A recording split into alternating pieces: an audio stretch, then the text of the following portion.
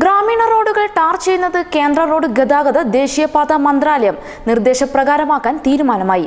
മന്ത്രി K T ജലീലിന്റെ നേതൃത്വത്തിൽ നടന്ന ചർച്ചയിലാണ് തീരുമാനം.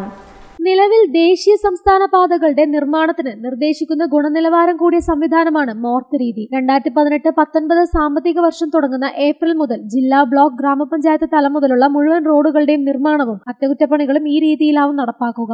തൊഴിലാളികളുടെ സഹായത്തോടെ നിർമ്മിക്കുന്ന ഗ്രാമീണ റോഡുകളിൽ നിരപ്പ് വ്യത്യാസം കൂടുതലായതിനാൽ വാഹനയാത്ര സുഖകരമല്ല. ഈ പാതകളിൽ ഏറെയും ഒരു വർഷത്തിനുള്ളിൽ തകരുന്നതും പതിവാണ്. മോർത്ത് രീതിയിൽ നിർമ്മാണ ചെലവ് കൂടുമെങ്കിലും കുറഞ്ഞത് മൂന്ന് മുതൽ നാല് വർഷം വരെ ഈട് നിൽക്കും. ഗ്രാമീണ റോഡ് നിർമ്മാണത്തിനിടെ ടാർ ചെയ്ത ഭാഗം ഉറക്കാൻ രണ്ടു മുതൽ മൂന്ന് ദിവസം വരെ വഴിയടച്ച് വാഹനങ്ങൾ തിരിച്ചുവിടുന്നത് യാത്രക്കാർക്ക് ബുദ്ധിമുട്ടുണ്ടാക്കിയിരുന്നു. പുതിയ രീതിയിൽ ഇത് ഒഴിവാക്കാനാകും. നിലവിൽ ഗ്രാമീണ റോഡ് നിർമ്മാണ രംഗത്ത് തൊഴിൽക്ഷാമം രൂക്ഷമാണ്. അവിഗ്ധരായ ഇതര സംസ്ഥാന തൊഴിലാളികളാണ് പ്രധാന ആശ്രയം. പുതിയ രീതി വരുന്നതോടെ ഇപ്പോഴുള്ള റോഡ് റോഡുകൾ കുഴിയടക്കലിന് മാത്രമാവും നിരത്തിലിറങ്ങുക. Top news Kerala Palakkad.